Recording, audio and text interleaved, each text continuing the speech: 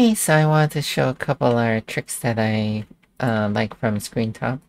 Um, sometimes I have to search through a deck of cards, and uh, one way I like to do that is I like to have a container uh, that's about the size of the cards, but has a bunch of line anchors that are outside of it, um, such that uh, each with a limit to how many um, tiles it could hold, so that when you put a deck on it, it displays out all the cards for you.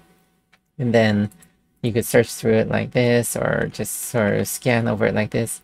And then when you're done, you could click it, press Control A, ba bing ba boom. You're done. Alright? So sometimes you might have a tile or something that has a uh, ba -ba -ba, something like uh, a bunch of information that's like meant to be looked at at different like orientations. And it's not super conducive if you rely on spacebar to zoom in on stuff. So what I do is that I have a container. Um, so this container has a is rotated um, a certain degree, and then this container um, has a cover on it that is closed. So when I put it in this container, uh, you'll see that like it's slightly translucent. And that's because this is the cover of this container is closed.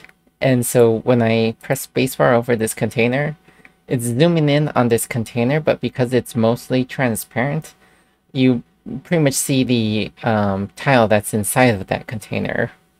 And it's oriented um, based on like the container's like orientation.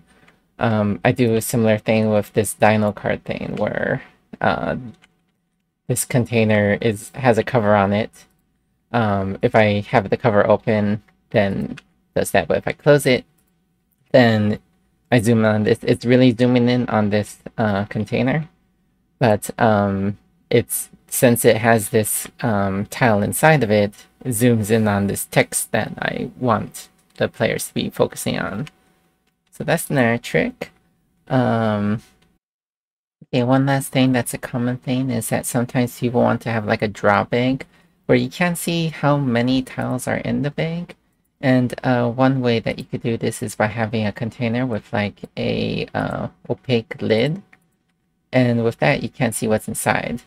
Um, it does have, it will, if like, um, you do kind of need like an edge of the token to be peeking out a bit so you can still select the things that are inside.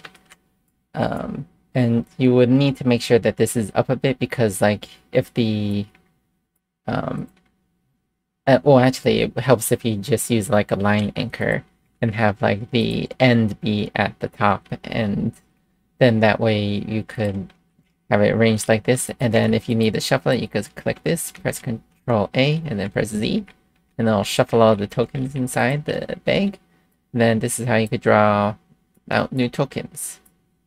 Alright.